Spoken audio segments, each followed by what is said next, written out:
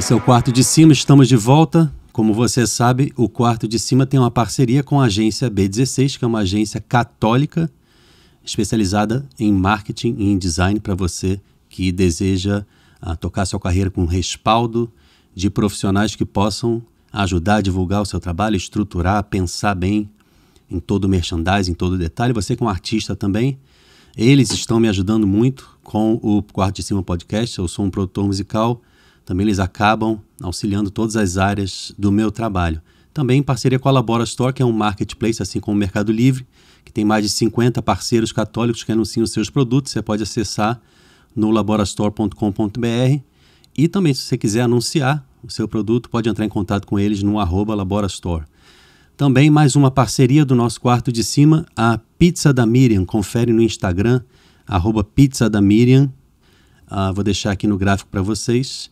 É uma amiga nossa, uma parceira nossa de Fortaleza que está fazendo atendimento presencial em Fortaleza de 17 horas às 21 todos os dias. E também está no, no iFood, se você quiser acessar. Excelente, excelente pizza, é, da melhor qualidade, eu recomendo. Voltando aqui, hoje temos a presença ilustre do Padre Rony, Padre Marcos Rony, mais conhecido como Padre Rony. Como é que está o senhor? Tudo bem? É, tudo bem, graças a Deus. Que bom. É uma alegria poder estar participando desse podcast com você, Pedro. A gente tinha combinado já antes, mas devido Sim. a alguns problemas de saúde que eu tive, acabou que ficou para agora, mas tudo no tempo de Deus. Exatamente, isso que eu ia dizer. Eu acho que a providência de Deus escolhe sempre o melhor momento, né?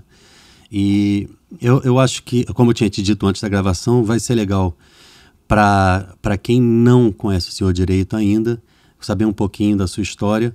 E quem não conhece está perdendo, né? Porque é um Instagram de alta qualidade, com conteúdo tanto formativo quanto super bem-humorado e reverente uh, do, do Padre Rony. Qual é o arroba mesmo? Arroba, arroba p.rony. É, p.rony com dois N's é Y. Muito bom, muito Isso bom mesmo. mesmo.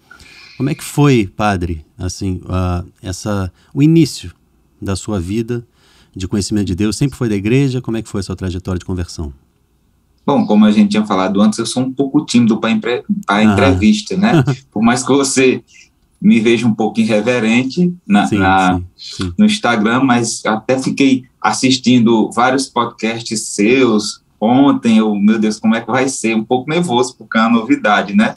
Hum. E é, falar mais uma vez que é uma alegria, é uma novidade. Eu, peço, eu espero que daqui a alguns meses ou anos a gente possa fazer de novo. Eu possa estar melhor. Bom. Nossa, tá ótimo agora, não tem problema nenhum. Tá, né? Bom, mas geralmente a característica de quem às vezes é irreverente nas redes sociais, quando vai falar de coisas pessoais, fica um pouco tímido. Interessante mesmo. Mas é, minha, minha, minha história, como você perguntou, minha história vocacional comece, começou num grupo de oração da renovação carismática e aquilo me fez, eu já, já participava da igreja e tal, mas aquilo me aproximou mais da igreja como é, não só no serviço da igreja, mas da própria essência de Deus e da igreja. E um dia o padre da paróquia, né, na, minha, na minha cidade lá em Iguatu, aqui no interior do Ceará, o padre Ricardo me convidou para fazer os encontros vocacionais. Eu tinha 16 anos de idade. Encontro hum. vocacional não é nada comprometedor. Você vai lá, você vai é, ter lá uma experiência, conhecer a vocação. Sim. Então eu fui. E fiz um ano de encontros vocacionais. No final do ano, teimei para, com 17 anos para entrar no seminário. Ainda, uhum. ter, ainda terminei naquele ano o, o, no ano seguinte que eu entrei, claro, o, o terceiro ano do ensino médio. Ainda terminei no seminário o ensino médio. Nossa, tudo junto. É. Depois disso, eu fui para e, e eu entrei na, na, na, Diocese de Iguatu, como seminarista da Diocese de Iguatu, e a Diocese me enviou para fazer a Faculdade de Filosofia em São Paulo.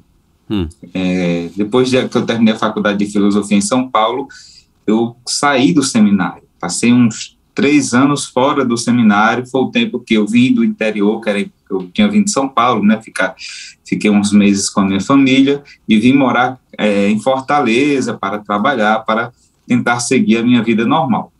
Então conheci o padre Rafael Maciel, e ele me convidou a fazer novamente os encontros vocacionais, assim, uns dois anos depois que eu tinha saído do seminário. Eu, ah, padre, eu não imaginava mais voltar para o seminário. Mas, enfim, fui lá fazer os encontros vocacionais da Arquidiocese de Fortaleza uhum. e eu já tinha conquistado várias coisas depois que eu saí do seminário, emprego, algumas coisas e tal, uma certa estabilidade. E quando terminou um ano de encontros vocacionais aqui na Arquidiocese de Fortaleza, eu ai, Senhor, é isso mesmo que eu quero para a minha vida, né? Tudo que eu conquistei não tinha valido nada quando eu percebia onde eu realmente deveria estar. Para mim foi um momento muito emocionante esse retorno ao seminário, porque eu tinha saído e tinha conquistado algumas coisas e precisei deixar tudo, porque eu vi que aquilo não tinha importância diante do chamado de Deus para a minha vida. Uhum. Aí fiz a faculdade de, de, teologia aqui em Fortaleza, é, fui ordenado sacerdote em dezembro de 2015. É um, um, um, resumo, porque história vocacional, você também deve ter a sua história com Deus. É, a gente for contar, a gente passa o dia todo falando sobre isso, é. né? A gente está aqui para isso, né? Porque eu acho, eu, eu, acho legal que, que as pessoas conheçam, né? É, é, humaniza e aproxima quando a gente entende quem é, quem é ele, de onde vem, por quê, né? Que chegou até onde chegou. E aí foi para Diocese de Chorozinho. Né? É, a cidade de Chorozinho, né, faz parte da Arquidiocese Fortaleza, essa paróquia aqui de Chorozinho que eu estou, é uns 65 quilômetros, mais ou menos, da capital, e o arcebispo Fortaleza me mandou para ser pároco aqui. E estou aqui desde então, não é? Inclusive nesse período de tratamento que eu estou, a gente já daqui a pouco vai falar sobre isso. Uhum eu estou eu estou aqui desde então, né, nessa missão aqui de, de, de ser pai. Claro que tem outro padre aqui comigo que, principalmente durante esse período mais delicado, toma de conta dos trabalhos pastorais. Sim, é, eu inclusive eu estava para te perguntar uma coisa. A sua ordenação foi em 2015, foi na Catedral de Fortaleza? Isso, conjunto eu... com o Cristiano, com o Edlin, com o padre Cristiano, com o padre Edis, é, o foi, eu tava Isso, tocando nessa missa. Eu tava Isso. tocando nessa missa, o Shalom tava, né? Que legal, Aí, né, cara? Eu, eu não sei, eu tive, eu tive a impressão, assim, a sensação, a intuição, vamos dizer. Eu falei, eu, acho que eu tava nessa missa, eu tive que, que confirmar ainda agora, dizendo, né, o Padre Cristiano. Então, realmente, agora eu tenho certeza, né? Que legal, assim, uh -huh. tem, uma, tem uma conexão anterior nossa, assim, né? Indireta, uh -huh. mas existe, né? É legal isso. E eu acho que, que são Claro que incomparável o ministério do sacerdote com o da música, mas uh, são dois ministérios que estão sempre servindo. Né? Isso tudo sempre. se completa, né? Sem, sem os outros ministérios, não existia um ministério sacerdotal e vice-versa, né? É. Porque o, o, sacerdote é para trazer Cristo ao mundo para dar ao povo, e sem o povo não tem é. sacerdote. Não, e eu, uh, inclusive, só falando isso, eu lembrei uh, de um post seu. Tudo que o diabo quer é acabar com o sacerdote. Eu achei tão interessante, estava vendo isso hoje. Nossa, você foi longe, hein? Ah, tem que olhar, né? Porque senão vou ficar é. aqui sem, né? Meio vendido aqui, né? Ah. Mas eu, eu, achei interessante porque tem e, e, e como a, a tua descrição centralizou, né? Sem o sacerdote, sem Jesus. Sem Jesus é, é bagunça total, né? E existe, né? Como o diabo trabalha de maneiras assim bem cuidadosa, bem expan, é, expansiva para poder mudar a mentalidade, uh, relativizar a verdade, abrandar a radicalidade, para que tudo fique um pouco turvo, né? Então, assim, ah, não tem mais tanto problema. É, é, é como o assunto do, do, do, sacerdote católico. Ah, por que, que ele tem que ser celibatário, coitado, como se fosse uma coisa assim negativa, né? É, é lógico é, que... que... Sim, pode é, o pessoal o, o, o, pessoal tem esse discurso que a gente não aguenta mais. Né? Não é. me pergunte por que padre não pode casar. É, pergunta, não, é. nem, nem me pergunta se nem me pergunta se tatuagem é pecado, tá? Porque eu tô vendo a sua daqui. Então não me pergunta. Não, ah, tô brincando. Viu? eu vi não, no outro vídeo. Outro post, eu vi no outro vídeo. Eu fui conferir agora. vi no outro vídeo. Então essas coisas eu não aguento mais, até porque se a gente, se a gente quisesse casar, a gente não tava aqui o uhum. povo aqui quer que a gente case, mas a gente quer casar não, então deixa as coisas como estão, porque a gente sabe que quem, quem a gente colocou a nossa confiança, né? Então, é, eu... deixa, deixa, deixa isso quieto. E, e interessante, já que a gente está nesse assunto de chamado, de vocação, Aham. é, eu não sei você, mas eu- as- é uma tentação, é uma fraqueza nossa, e à medida que a gente se concentra demais nessa fraqueza, pode se tornar tentação do inimigo. A gente ficar pensando, é, por que eu? Meu Deus, por que eu? Por que, que eu fui chamado? Eu sou um, no meu caso, eu digo, Senhor, eu sou um doido, eu sou um, um- um- um, né? Eu não me vejo, eu não me vejo, não me via, né? Como alguém que ia pegar a coisa mais importante da igreja, o tesouro da igreja, que é a Eucaristia, e dar ao povo, né? Porque eu, meu Deus, sou apenas um doido, um abestado. E à medida que a gente se pergunta, a gente tem que ter até um pouco cuidado, porque senão a gente fica só nisso. É, Ou porque eu sou um coitado. Claro, a gente precisa se perguntar para a gente entender quem realmente a gente é, mas não ficar só nisso. Mas é. uma pergunta que a gente precisa sempre fazer.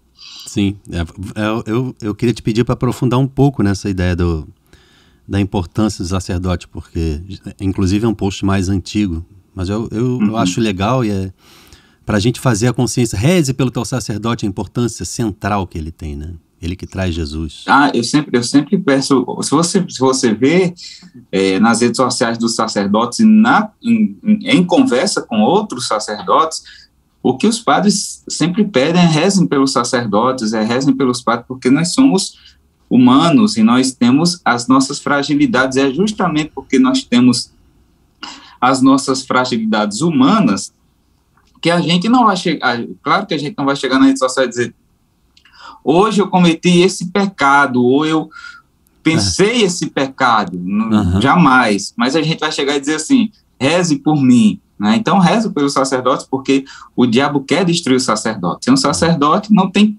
é, é, o sacramento da Eucaristia, então é preciso realmente a gente aprofundar não só o assunto que nós estamos falando aqui, mas a nossa própria nosso próprio entendimento. A gente pede tanto o dom do entendimento ao Espírito Santo, entendimento do que o sacerdote representa. Não importa se sou eu, não importa se quem seja esse sacerdote, o que é o sacerdote para não só para a igreja, mas para a sua vida. Você que está assistindo nesse momento, o que é o sacerdote?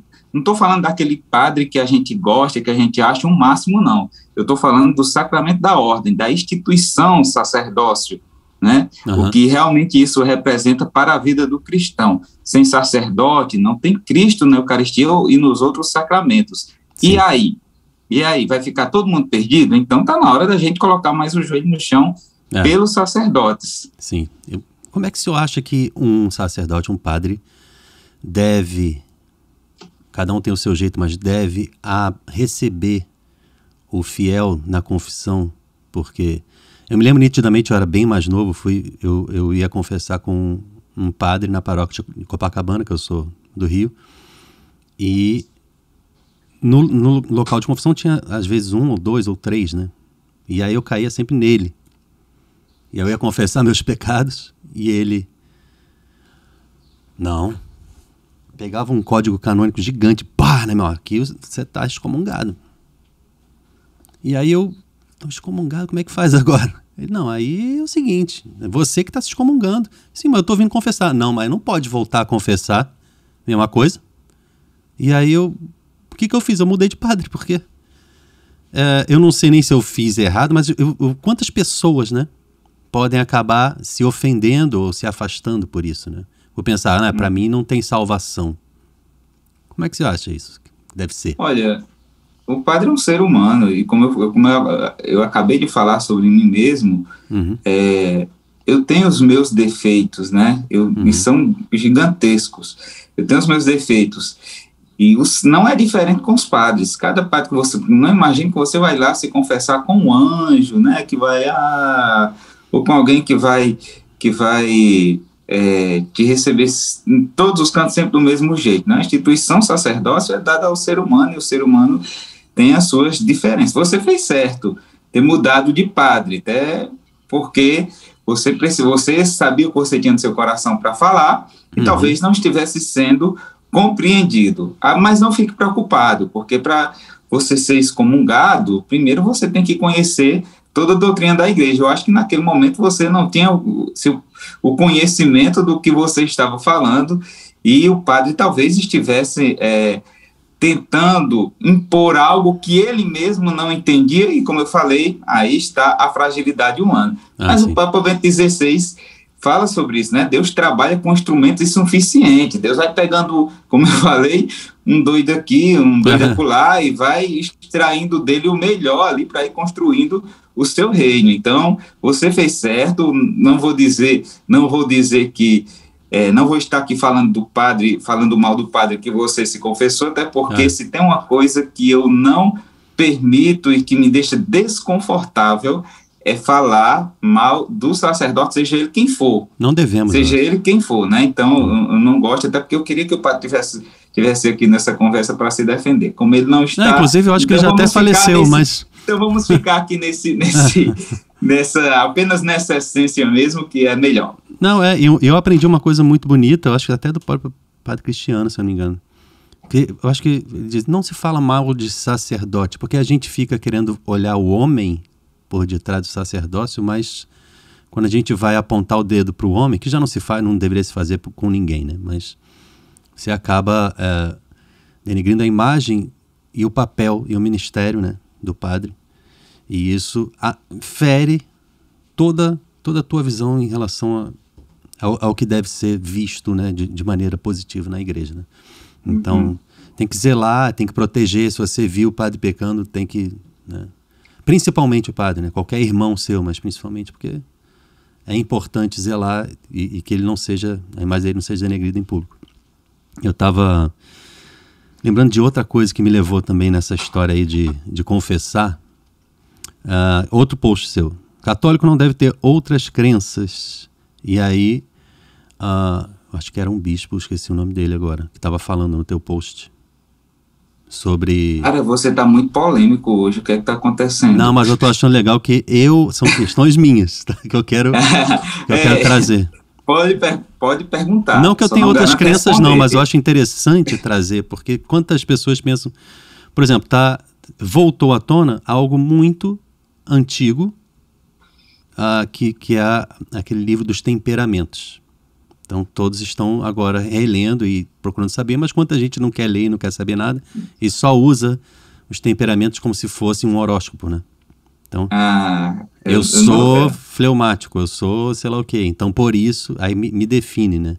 Assim como se, você, se a pessoa fosse realmente bem se aprofundar na história da observação de astros, talvez ela tivesse uma referência do, do que é a astrologia de uma maneira muito menos nociva do, do que é, né? Crer, crer, na crença do horóscopo, a crença do temperamento que to, vira uma seita paralela, né? Então é isso que eu estou querendo dizer.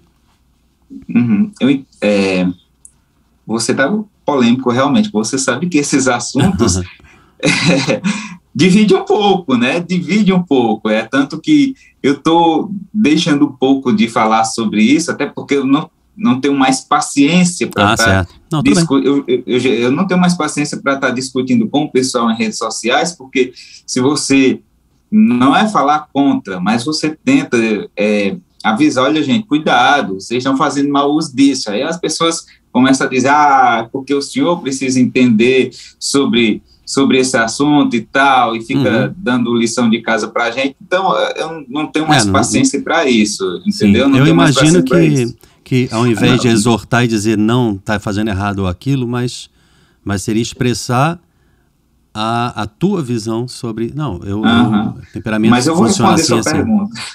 Não, mas eu vou responder suas perguntas. Não tem, pode fazer outras, não tem problema. É, realmente, essa questão das. É, isso é muito antigo, essa questão da, da de outras crenças, né? Misturar. É, é vividas dentro do ambiente católico. Uhum. Isso, é uhum. muito, isso é uma discussão antiga, né? Isso, isso os se você se você se você lembra você, você, nós somos mais ou menos da mesma época quando nós éramos jovens se discutia isso na, na igreja nos grupos de orações a questão de outras religiões é, hoje a, o, hoje está globalizado e, e, principalmente na mídia esse negócio de que de que o importante é ser feliz, né? O importante é ser feliz, não importa onde você esteja. Aí hoje você está na missa, amanhã você está em outra religião, amanhã você está numa seita, Uhum. E eu falei, você falou nesse post aí, que é uma coisa que as pessoas ficam me perguntando, padre, eu vou, eu vou à missa, mas eu também vou em tal lugar, não é? Eu não quero falar de nenhuma Sim. religião ou seita aqui. Vou também em tal lugar. E eu, e eu sempre reafirmo, eu acho que toda semana eu falo isso nas redes sociais, lugar de católico é na igreja católica. E ponto. E se você é de outra religião, seu lugar é lá. Se você é de, de uma seita, fica lá. Né? Uhum. Mas eu acho que nós precisamos ser coerentes com aquilo que nós acreditamos. Com aquilo que nós acreditamos. Aí, geralmente, quem, quem se incomoda com isso é quem é de outra religião. Ah, mas eu sou dessa religião, eu pratico isso aqui e vou na missa. Ah, uhum. eu, eu não quero discutir isso, eu só estou dizendo que a verdade é essa. Se você é católico, você tem que ser católico, não tem que estar em outro lugar. Uhum. E pronto, e pronto, e acabou, né? E você não precisa ter isso como uma afronta, mas como um aviso de Deus para a tua vida. Olha, tu precisa se converter, precisa se converter. E eu vou falar, eu vou emendar aqui os assuntos, justamente uhum. porque, falando aqui do, dos temperamentos, eu vou ser sincero com você. Eu não tenho conhecimento que o padre Paulo Ricardo tem sobre os temperamentos, ele até fala sobre isso, e ele fala, fala diversas vezes para que as pessoas entendam realmente o que são os, os temperamentos. É. Só que isso virou um horóscopo na igreja. Você é. deve receber mensagem, eu recebo mensagem de alguma coisa que a gente posta e tal, ou conversa com alguém, a pessoa, ah, você é isso, né? É, você é. tem esse temperamento. Eu quero saber lá qual temperamento que eu tenho. Não importa para você o meu temperamento, deveria importar para mim. Como é. conhecimento pessoal, a gente precisa entender isso, é, a gente precisa pra ajudar a, a se partir conhecer, do né? temperamento, né? é se conhecer para poder crescer, superar algumas dificuldades que a gente tenha. Então, o meu temperamento não, deve, não deveria importar para você, né? É. E você, geralmente as pessoas passam isso de maneira errada. Se você quer fazer alguém conhecer os temperamentos, para de chamar a pessoa disso ou daquilo, dá um temperamento para ela. Tá é, tudo não. errado. É, tá e outra, assim, eu, não, eu não digo nem que a fulano tá me chamando de sanguíneo ou disso daquilo, mas a, a própria pessoa diz, é, eu sou colérico, então eu tô desculpado, né?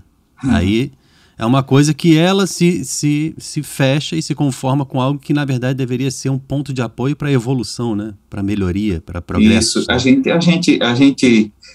Eu estou incomodado com algumas coisas da modernidade, as pessoas ficam, ficam incomodados com o padre que faz humor nas redes sociais, mas eu tô, mas deveria incomodar muito mais que eu assisti é, até no podcast que você fez com a Nicole, é aquela questão da, da, da, da, da roupa e tudo. Eu achei interessante aquele assunto. Modéstia. E, né, da modéstia. Então, a modéstia é um assunto que precisa ser discutido, claro, a partir do interior, e o que, o que a gente vê no exterior é reflexo daquilo que a gente tem no interior, é, os temperamentos, esses assuntos que estão é, chegando agora e que as pessoas desinformadas, que a pessoa não sabe nem o que é que significa Osana nas alturas, e já quer transformar, já quer transformar a modéstia ou os temperamentos na doutrina católica. Né? A é. doutrina católica é isso, é a missa tridentina, a modéstia, o temperamento. Então, para com isso, né? A igreja é muito mais do que o que você pensa. É. E isso pode ser uma heresia, você pode ser excomungado por isso. Mas para isso você deveria conhecer a doutrina da igreja, né, ser inteligente o suficiente para poder criar uma doutrina paralela. Mas como as pessoas são ignorantes nesse sentido de conhecimento, então acaba falando mais besteira do que né, o padre que faz humor no Instagram. É, por falar em conhecimento, eu, eu que sou anos 80. É, Somos. é, mas acho que eu, eu sou um pouco mais velho.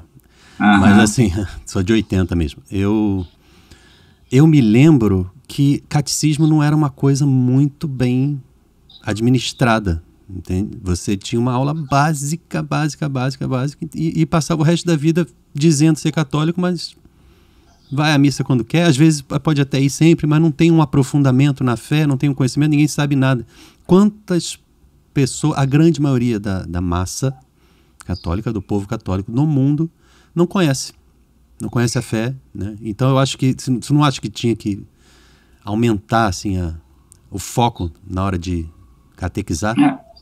a gente não pode mais viver os anos 80. Os anos 80, né, tinha uma, uma outra dimensão, as coisas tinham, outra, tinham outras dimensões. É.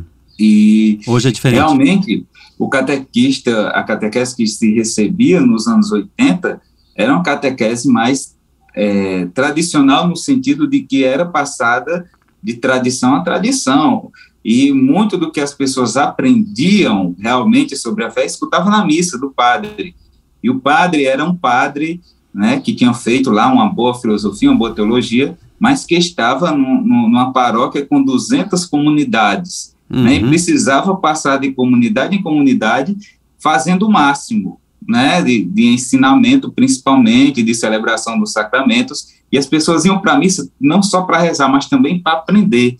Se você, se você é, parar para você parar para pensar para lembrar, você sabe que os nossos pais, os nossos avós, dizem assim: o padre disse que era assim, porque era o contato que as pessoas tinham com catequese, e aquelas pessoas que eram mais próximas da igreja formavam a turma de catequese e preparavam para os sacramentos.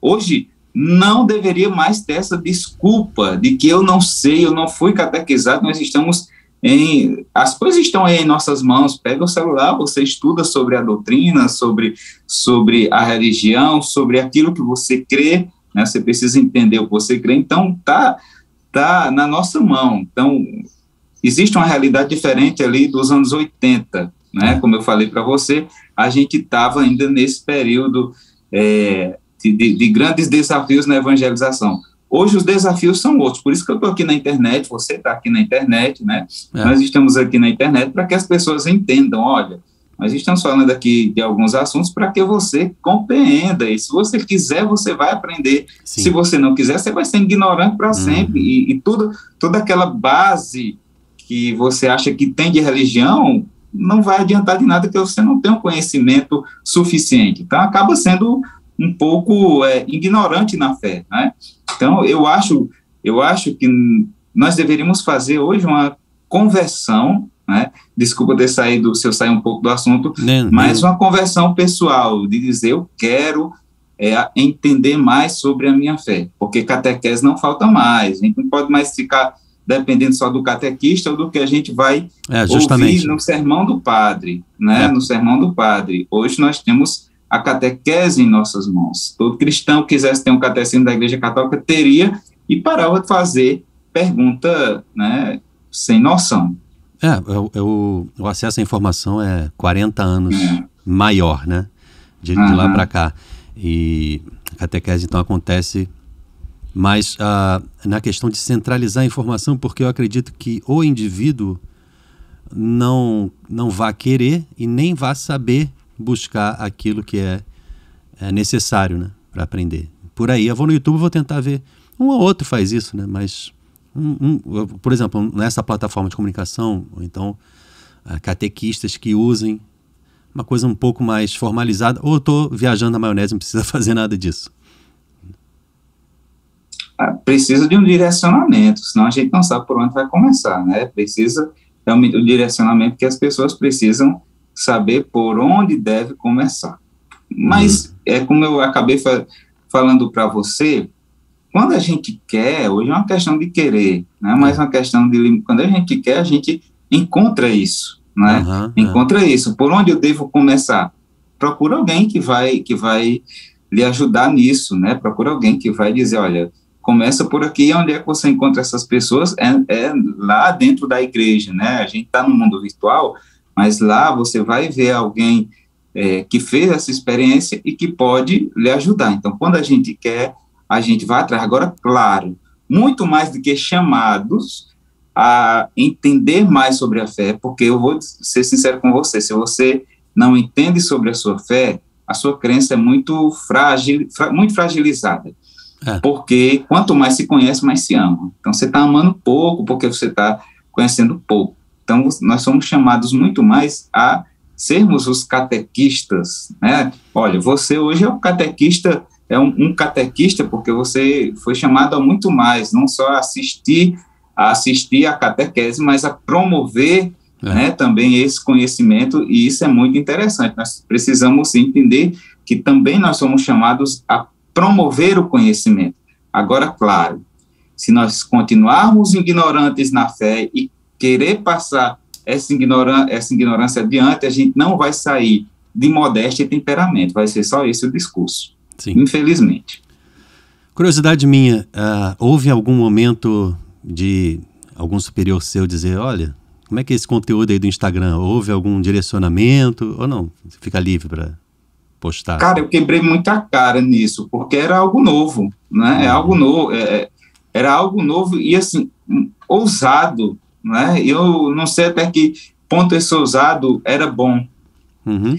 E com certeza enfrentei críticas. Eu acho que recebi mais, mais não foi críticas, mas alguns colegas, alguns pares meus, alguns padres, colegas, conversavam comigo, olha, ó, é, toma cuidado nesse conteúdo aí, você, você brincou, que tal, é, porque o assunto pode ficar no ar e você precisa aprofundar o conteúdo para que as pessoas não entendam de maneira errada né, outros comportamentos meus e, e, e, que eles achavam um pouco exagerado, dizia não precisa disso, então é aquele cuidado, né, do, do, é. dos, dos irmãos, tinha aquele cuidado, e eu achei muito interessante isso, mas tem aqueles, é, tem os maldosos também, né, tem as é. pessoas maldosas que cortavam trechos, trechos dos meus vídeos, ah, é pior. e e, e enviava para enviava o bispo, enviava para tal lugar.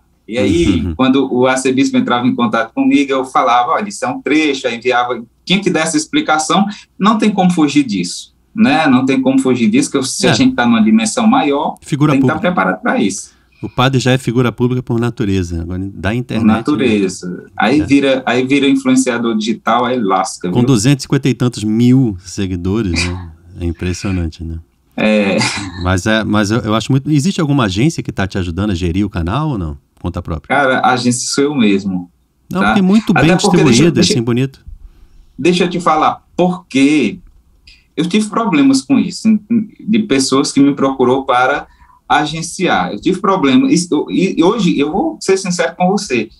Hoje, né, existe um problema na, nas, nas agências porque querem pegar demais e acaba que não dá a atenção dá, devida exatamente. que você. E, e, quer tratar, por exemplo, o seu canal do mesmo jeito que trata o meu. Eu tive, eu tive alguns problemas e parei de. Olha, a agência será eu. E pronto, né? Uhum. A agência será, será eu. Tem algumas pessoas aqui comigo que me ajuda e tal, mas pessoas do meu convívio que, que vão ler os, meu, os meus directs, o inbox, porque eu não leio o inbox, eu não, eu não, dificilmente eu leio o WhatsApp, eu não atendo ligação e tal, porque, porque isso, é, isso se tornou um pouco congestionado na minha vida, então não queria viver em função disso.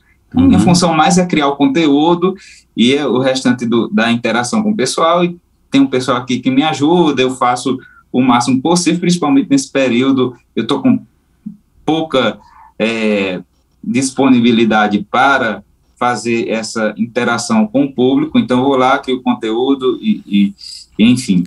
Mas é. eu, eu, estou triste com algumas agências, eu estou é triste realmente com algumas agências. Não sei, você, não sei se você, é, mas com certeza você é mais inteligente do que eu, conhece mais essa área do que eu, e sabe do que eu estou falando, tá entendendo o que eu estou falando. Não, é, com certeza. E agências que mal. É, e aí depois a gente é mal agenciado. E eu fico, às vezes, a ficar me culpando. A culpa é minha. Aí eu, ah, quer saber de uma coisa? Não dá para trabalhar assim.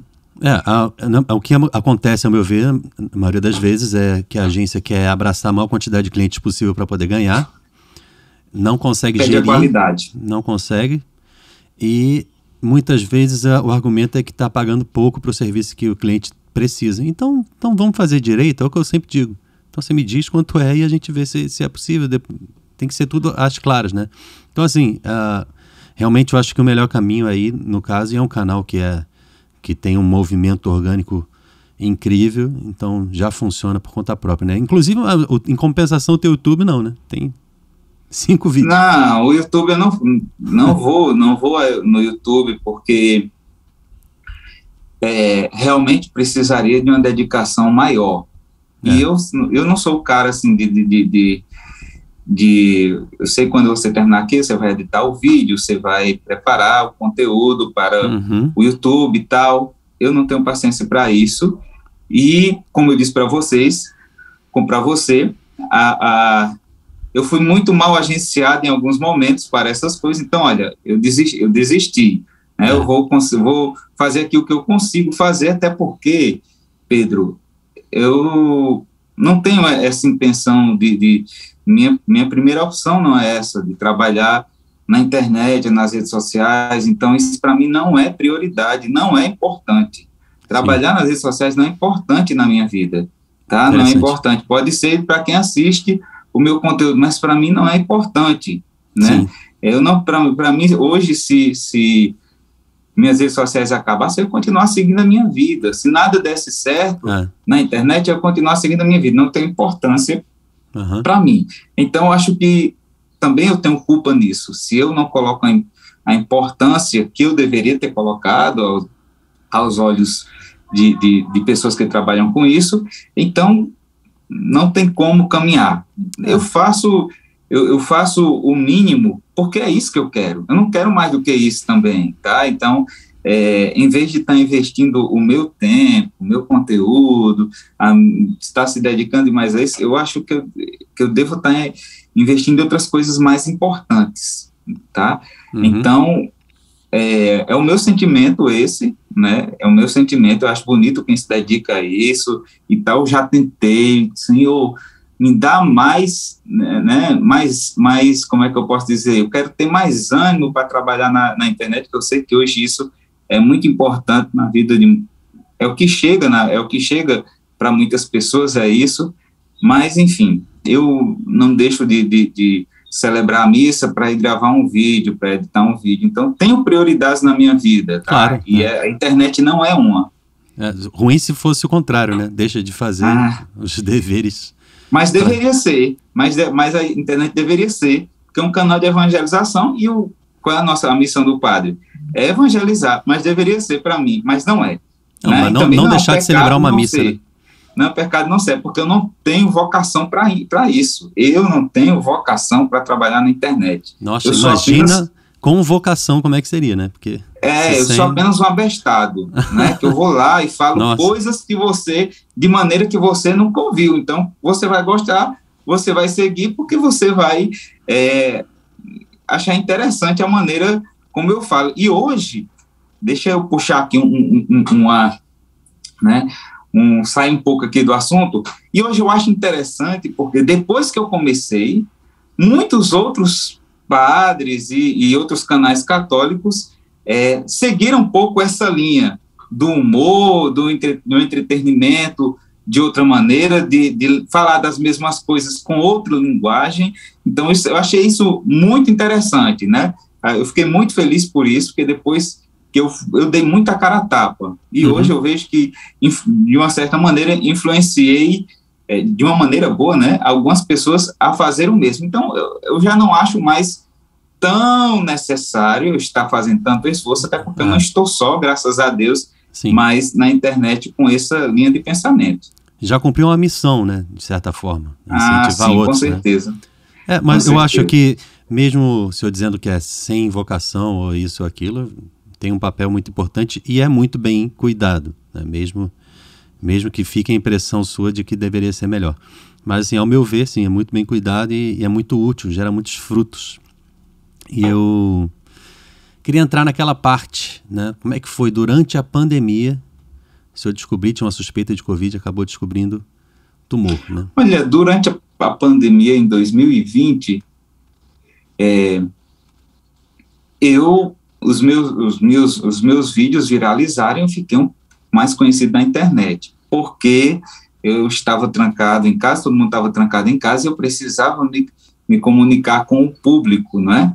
Precisava me comunicar com o público, e o público que eu queria me comunicar era eram os meus paroquianos, é tanto que eu peguei o meu WhatsApp e dei para todo mundo da minha paróquia, olha, você não está só, fale com o padre, você não vai ver o padre na missa, você não vai. Então, fala com o padre, as pessoas realmente falavam comigo no WhatsApp, às vezes estava cheio, mas eu estava em casa, eu, eu não, não podia, e ficava ali respondendo os meus paroquianos. é, uma, era até um, uma, um, é um WhatsApp aqui da paróquia, e o pessoal falava comigo, dizia, ah, quem está falando é o padre e tal. E do mesmo jeito os vídeos, eu pedi o pessoal para mandar as perguntas, pessoal da minha paróquia, para que a evangelização, a catequese não parasse. E aí esses vídeos tomaram outras dimensões, né, foram além da uhum. paróquia e tal. E fiquei muito conhecido. Eu não sabia o que, que Deus estava preparando um caminho para mim, sabe? Que eu me sinto muito amado por Deus, muito amado por Deus nesse sentido. É, que eu fiquei ali seis meses e famoso na internet e tal. E quando foi agora, em janeiro, ao que há cinco, seis meses atrás, eu descobri o câncer, né? Pensei que eu estava com Covid, fui ao hospital e lá é, fiz uns exames e descobri que estava com câncer. Cara, é, meu mundo desmoronou. Eu não vou, eu não estava preparado para isso. Por mais fé que eu tivesse, por mais base que eu tivesse, por mais confiança em Deus, então humanamente isso me abalou um pouco psicologicamente. Des, ah, meu mundo desmoronou, não é? Meu mundo desmoronou e tantas pessoas que eu conhecia que acabaram me conhecendo por causa do trabalho nas redes sociais foram também meu apoio de uma certa maneira, rezando por mim, as mensagens de carinho, de oração, de, de conforto chegava a todo momento para minha família, para nos meus canais, outras pessoas, as pessoas que me acompanhavam viam isso. Então, é, eu, Deus nunca me deixou só, né? Deus nunca me deixou só. E durante esse período aí, aí comecei o, o tratamento da doença. Eu parei, fui parando um pouco de ter algumas paranoias. A gente fica com paranoias na cabeça porque é algo novo, então você não sabe, não Sim. sabe como é que vai ficar a sua vida. Vai ser reza, você tem fé em Deus e tal, mas tem aquela questão da incerteza, né? Como será o tratamento, como será o resultado. Uhum. Como é que tem e sido? Deus foi, é, e Deus foi, foi, enquanto eu estava abalado um pouco, eu, e eu não percebia isso, depois foi que eu parei para perceber, que Deus foi me curando de outras doenças que eu tinha, né, doença espiritual e tal, porque eu vou ser sincero com você, Pedro, é, teve um certo momento de que eu estava conhecido na, na internet que eu, e, eu me tornei soberbo com isso, não tem como, não, é. não tinha como, né, eu não ter me tornado, e, por mais que eu achasse, e eu falava, não, eu continuo aqui a mesma pessoa, humilde como sempre, Agora eu percebo que eu revejo os vídeos do passado, as conversas do passado, então é, eu caí numa soberba, eu caí numa certa soberba, e isso foi um mal, não é? eu estou falando disso de coração aberto, né? eu, eu nunca reconheci isso para muitas pessoas, até porque eu estou num processo, eu não estou falando que eu estou no tratamento contra o câncer, eu estou no processo de conversão, e eu percebi muitas coisas que eu, muitas armadilhas do inimigo que eu tinha caído, e que agora Deus me deu a oportunidade de me libertar delas, de me curar delas, né, e de encontrar realmente o caminho de Deus, que muitas das vezes a gente acaba se desviando por causa das, das, das atrações que o mundo traz para a nossa vida e a gente acaba achando que, eh, enfim, é, então, Deus foi me curando de, desses males e eu sou muito feliz com isso. Eu estou fazendo tratamento, estou na pandemia, estou fazendo tratamento é, contra um câncer de linfoma, né, que eu descobri. Eu, hoje eu estou falando com você porque eu estou num dia bom, né? Hoje eu estou bem, mas se eu estivesse num dia ruim, se eu estivesse mal, tem dia que eu não estou tão bem por causa da medicação, por causa do próprio tratamento. Aí eu, eu realmente eu, eu me isolo um pouco e fico é, cuidando da minha saúde. Mas eu vou ser sincero com você, por mais que tudo isso me perturbe um pouco, eu não fico eu não fico perguntando, ah Deus, por que isso? Eu não fico culpando, eu não fico com revolta, eu não fico triste, pelo contrário, eu me sinto muito amado, sabe? No momento que eu estava perdendo um pouco a essência, Deus me trouxe de volta para o caminho não foi Deus que, trouxe o câncer para a minha vida, mas Deus viu que na oportunidade, na dificuldade que eu estava passando, na cruz que eu estava carregando, Deus viu ali uma brecha para entrar mais na minha vida, para me pegar pela mão e para me tirar da situação que eu poderia cair. É interessante pensar como um processo de conversão, né? Que Deus aproveita uhum. os acontecimentos, né? No início da pandemia, para mim também foi um momento muito difícil e nesse momento mais difícil é que eu vi Deus agindo. E, olha, finalmente eu estou conseguindo entrar aqui nesse lugarzinho que você sempre escondeu de mim uhum. e reavivou também a minha decisão por pela via de consagração na comunidade Shalom. E era uma coisa que eu estava deixando ali anestesiada e de lado há 10 anos, assim, um pouco mais até. Então, males que vem para mim. Eu, eu digo que 2020 foi o melhor ano da minha vida. E às vezes as pessoas ficam um pouco escandalizadas, né? Nossa, mas foi um ano de perdas e de mortes e de. Sim, mas, mas a gente tem que olhar o bem que Deus quer fazer, né? Individualmente e coletivamente, em, em muitos aspectos mesmo, né? Deus tira bens dos males que acontecem. E me alegra ver isso, né? Ah, sim, com certeza. Eu, eu, eu percebo muito isso. Eu não vou dizer que 2020 foi o melhor ano da minha vida, porque eu não parei para pensar isso, é, não, né? Eu vou, eu vou, eu vou preparar, eu, e principalmente agora não dá para pensar mesmo. E eu vou é, observando as etapas da minha vida.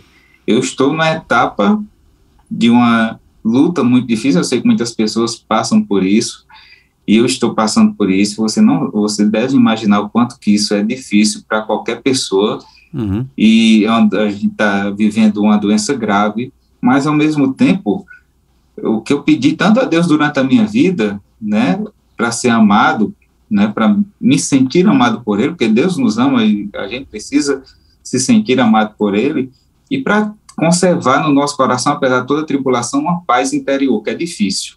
É. Eu percebi que Deus foi, foi me abrindo os olhos para reconhecer esse amor, essa paz interior que Ele estava trazendo para a minha vida, e, e hoje eu sou muito grato a Deus por isso. Eu não tenho o que reclamar.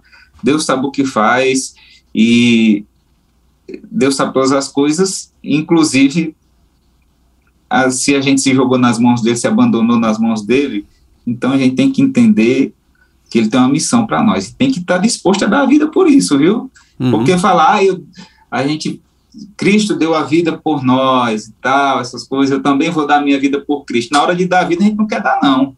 É. Na hora de dar a vida, dói, dá medo e tal.